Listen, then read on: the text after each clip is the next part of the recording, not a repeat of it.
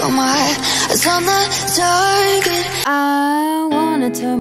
Hi welcome back to another vlog आज हम कबाब चीज़ जाएंगे so let's get ready with me first stop in a pick an outfit so right now i'm choosing between which of the dresses i want to wear as some bright and some pastel shades so i'm preferring the yellow one so let's take this out so now i'm gonna show you my sandals they have been my favorite and they are from stylo then this really pretty pastel color as you can see and they're so so comfortable. So now can we talk about how pretty these are? So now let's do my makeup and i'm going to show you my outfit.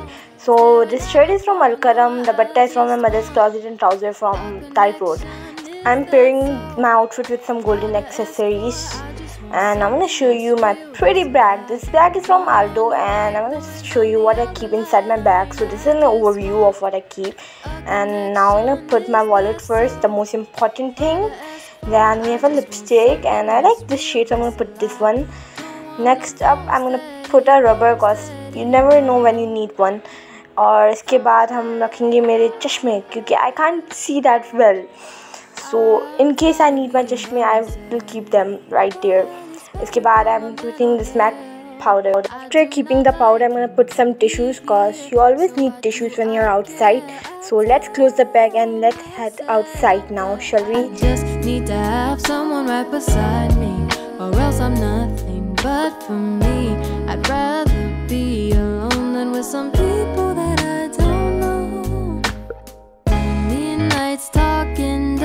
We